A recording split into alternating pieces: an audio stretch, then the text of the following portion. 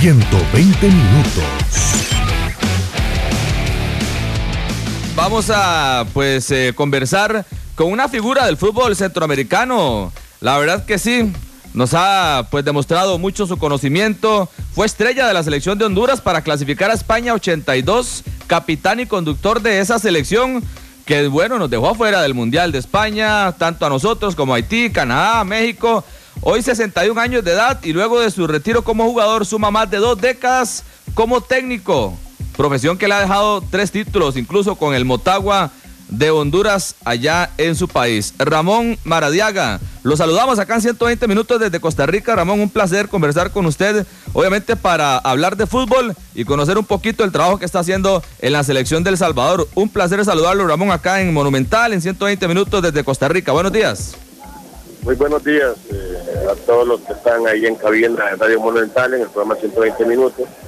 Así también como a todos los que están pendientes de su prestigiado programa, atendiendo su comunicación y, bueno, listo para las inquietudes o el diálogo que ustedes tengan bien a, realizar.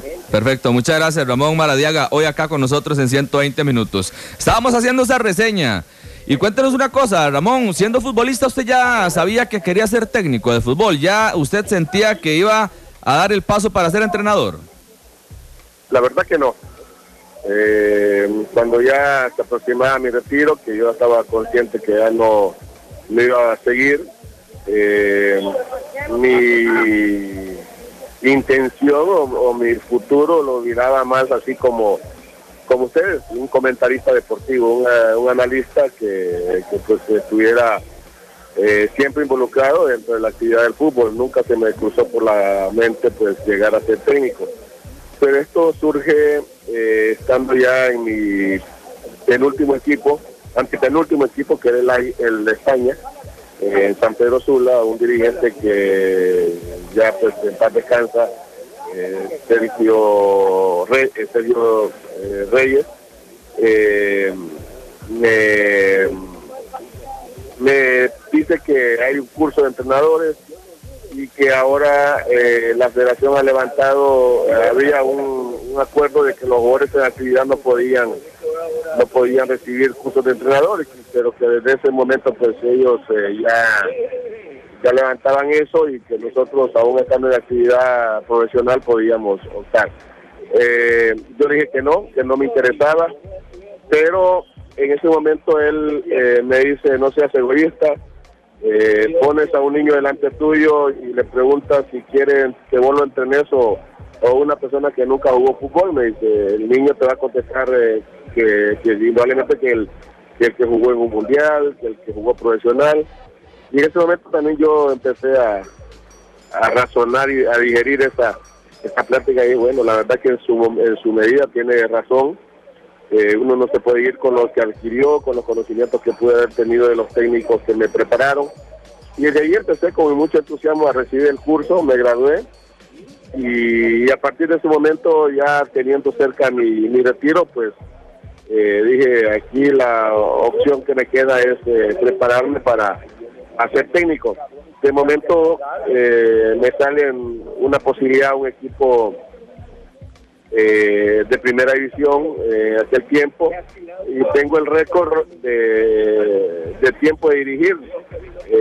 solamente 24 horas estuve en ese equipo porque al día siguiente me cesaron me dijeron de que no, no, ya no seguía ahí y que tenía la libertad para poder ir a cualquier otro equipo. En ese momento el profesor Ucles eh, me recomienda para un equipo de segunda división, el Deporte Prodeseño, y pues ahí ya empiezo a sentir ese, ese calorcito, esa pasión por, por dirigir equipos. Y, al año siguiente, en el 93, es cuando asumo en forma directa con, el Club Motagua. Y desde esa fecha para acá es cuando ya pues eh, eh, he tenido la carrera de técnico.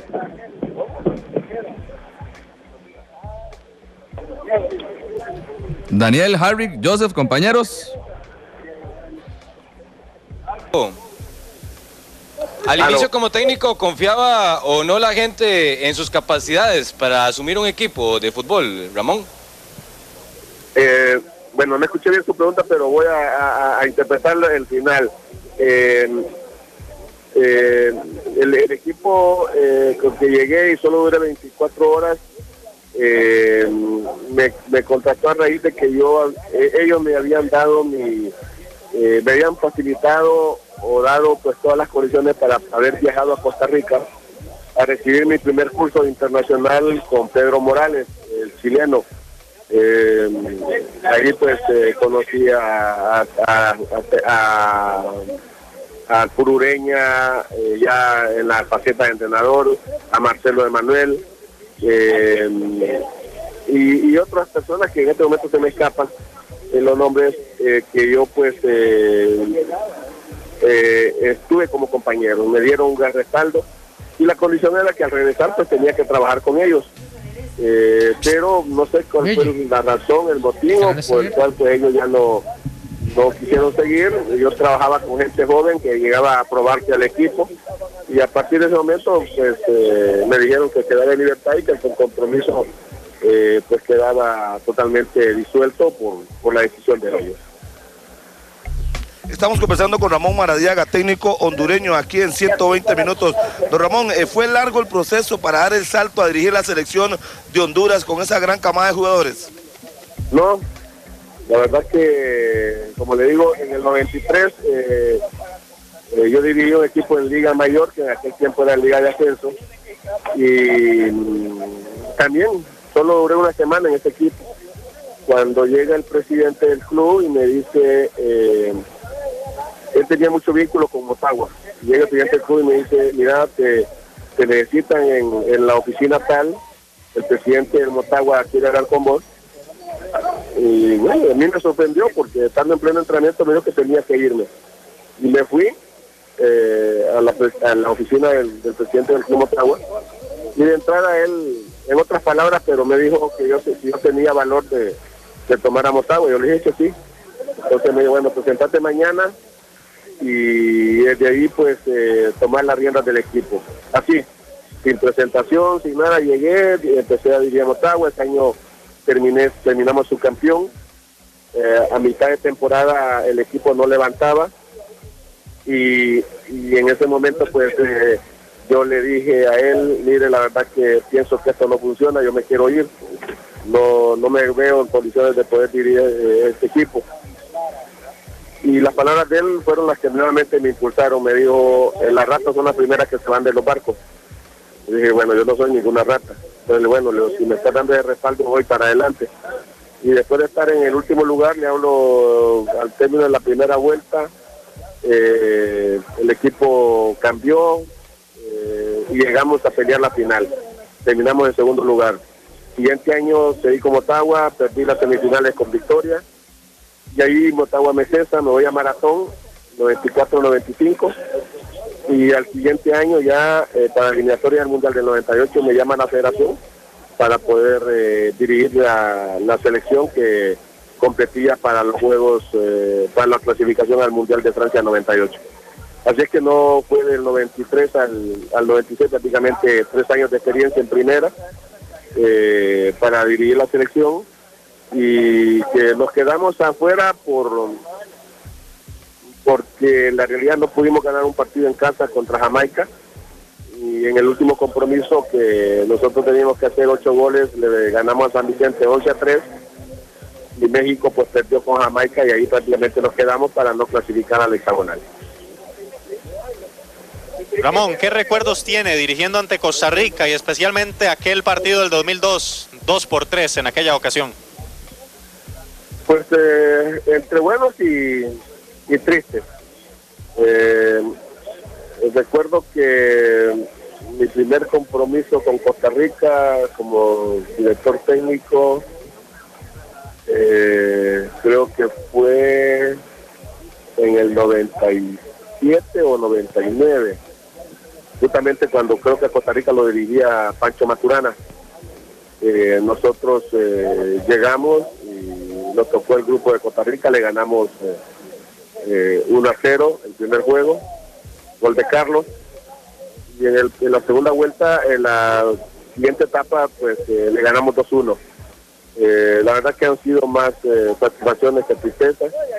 Eh, el 2-3 indudablemente que pesa porque fue un partido de clasificación para, para, la, para el Mundial de Corea.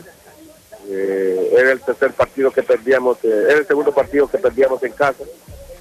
Y esto pues indudablemente mermó nuestras posibilidades. Eh, recuerdo que justamente a finales del 99 nos invitaron a jugar a, la Juela y ahí íbamos perdiendo 1 a 0 con gol de Mefo. Y justamente la persona que contactó de la federación conmigo me dijo, que los invitamos porque queremos empezar el nuevo siglo ganándole a Honduras y que ya pues esa paternidad se termine. Pero en el último minuto Ricky García empata eh, un tiro ya eh, de largo eh, frente al, al guardameta de Costa Rica y lo que se pensó que era la, el romper ese, ese, ese- esa, esa hegemonía eh, se mantenía. Eh, como usted bien dice, pues eso se rompe ya en el 2001 en Tegucigalpa y desde ahí pues eh, tanto con Honduras como la- el mismo Guatemala eh, tuve dos, dos enfrentamientos, uno en Guatemala que ganamos 2-1 y el otro creo que perdimos 5-0 ahí en San José. Así que hay más eh, que, que tristezas en cuanto a las eh, confrontaciones con Costa Rica. Vaya recuerdos, claro, Ramón Maradiaga con nosotros en 120 minutos. Ramón, y digamos que en el fútbol, ¿qué es lo que más lo ha hecho sufrir o qué es lo que más le ha dolido a usted en el fútbol? Pues voy a decirlo así por, por prioridad el haber perdido con continuidad el, ese 1 a 0 eh, que nos daba prácticamente la clasificación al Mundial de Corea.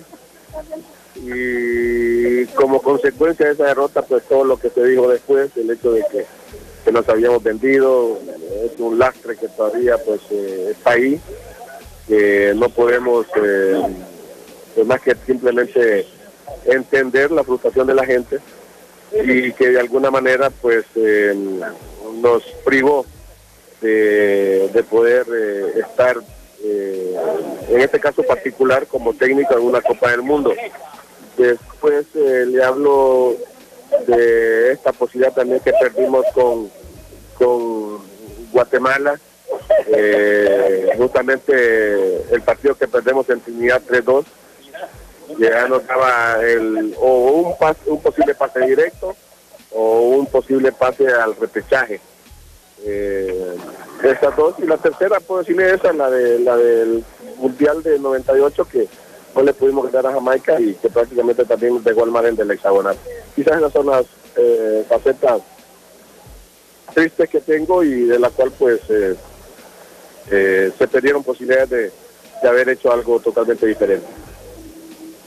¿Le hace falta a su currículum dirigir en Costa Rica? ¿Y qué le ha hecho falta para llegar al país? Bueno, que, que haya interés eh, por poder estar ahí. La verdad que sí es un fútbol que, que siempre me ha traído. Han habido dos posibilidades, eh, no, no voy a decir concretas. Una, una- la primera fue de Cartago, eh, estando yo en Motagua, creo que el 97 por ahí. Eh, el gerente era Chaco Piedra me enviaron una me enviaron una nota por por correo donde pues eh, me preguntaban mis, eh, mis posibilidades y que ellos este, estarían en contacto pero fue todo lo que recibí después la última eh, posibilidad fue con Pérez Celedón eh, hace creo que fue en el 2012 Eh, me hablaron eh, y no no llegamos a un acuerdo Después así en plática eh, con el, el entonces presidente de la abuela, el señor Rafael Solís, el arquitecto, eh, él en un momento me dijo que quería que yo fuera a dirigir y, y esas han sido más que todas las aproximaciones. La verdad que, que mm, espero que algún día pueda darse esa posibilidad y si no, pues eh, simplemente eso que no, no se pudo o no hubo interés. Estamos conversando con el técnico hondureño Ramón Primitivo Maradiaga, que ha dirigido las selecciones de Honduras, El Salvador y Guatemala. Última pregunta, don Ramón. ¿Es el futbolista Tico el mejor de Centroamérica a su criterio? Si no es así, ¿cuál es? No, mire, la verdad que es muy difícil eh, dar ese tipo de aseveraciones. Eh, hay características eh, distintas de las cuales uno puede sacar eh, eh, análisis de dónde pueden haber buenos jugadores. Eh, ahorita en este momento no podemos descartar al futbolista panameño que ha elevado su nivel eh, de mi país y de igual forma Costa Rica.